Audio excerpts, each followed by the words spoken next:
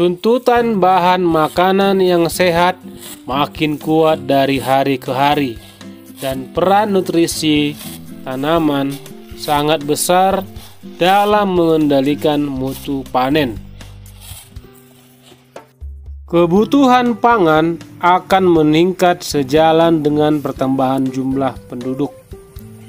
Oleh karena itu, mau tidak mau, suka tidak suka, dan siap tidak siap, produksi pertanian harus ditingkatkan. Jadi, tantangan yang timbul akibat dari pertambahan penduduk adalah ketahanan pangan atau food security. Untuk menjawab itu, produktivitas pertanian harus ditingkatkan. Peningkatan produktivitas dan kualitas produk serta efisiensi biaya produksi dapat dilakukan dengan jalan intensifikasi proses budidaya. Ini berarti proses budidaya yang efisien dalam menggunakan sumber daya harus selalu diupayakan dan efisiensi dapat dicapai melalui penerapan ilmu pengetahuan dan teknologi di bidang pertanian. Salah satunya adalah hal dalam pengelolaan nutrisi tanaman. Jadi, salah satu aspek dalam pengelolaan nutrisi tanaman adalah pemupukan. Pemupukan dilakukan sebagai upaya untuk mencukupi kebutuhan tanaman agar tujuan produksi dapat dicapai. Namun, apabila pemupukan dilakukan dengan sembarangan, akan menimbulkan masalah bagi tanaman yang diusahakan. Tanaman yang mendapat suplai nutrisi dengan baik dan seimbang dipahami lebih toleran dan lebih tahan dibanding tanaman yang mengalami defisiensi satu atau lebih unsur hara menurut Schelling tahun 1990 dan Maschner tahun 1995.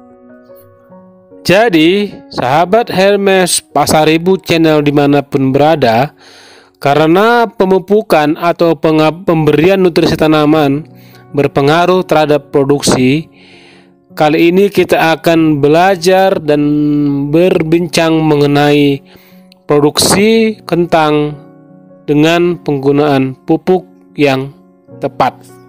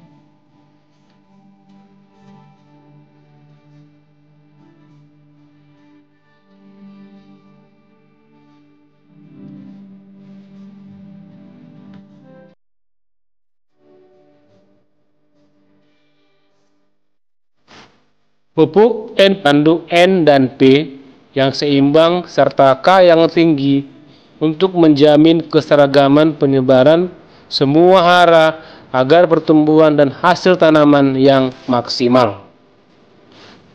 NPK Mutiara Partner adalah pupuk yang lengkap yang menyediakan hara kalium yang tinggi yang diperlukan tanaman.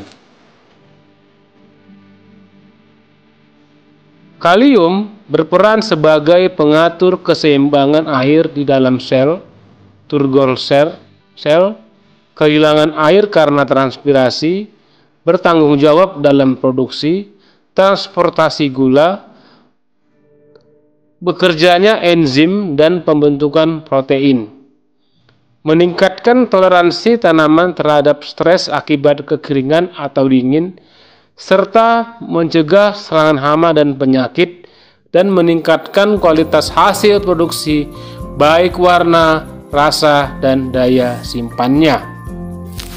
Sedangkan fungsi nitrogen atau N bagi tanaman, yang pertama memperkuat dan memperkokoh tanaman serta daun berwarna hijau tua. Yang kedua, merangsang pertumbuhan vegetatif. Yang ketiga, produksi pigmen atau hijau klorofil daun yang membuat tanaman lebih hijau. Dan yang keempat, berfungsi untuk sintesa amino dan protein. Fungsi fosfor atau P atau fosfat bagi tanaman membantu produksi dan transfer, transportasi gula, lemak, dan protein. Berperan penting untuk fotosintetis, diperlukan sebagai fungsi normal dari membran sel, dan penting untuk perkembangan akar dan pembungaan. Sama halnya dengan nitrogen, tanaman juga membutuhkan unsur hara fosfor untuk pertumbuhan dan perkembangan secara maksimal. Dan fungsi kalium bagi tanaman adalah meningkatkan kualitas panen agar lebih manis, lebih besar, dan lebih mengkilat. Meningkatkan daya tahan terhadap hama dan penyakit, mengatur air, dan meningkatkan toleransi terhadap stres kekeringan, meningkatkan transportasi fotosintetis pada tanaman, memperkuat dan memperkokoh tanaman, meningkatkan pertumbuhan akar tanaman.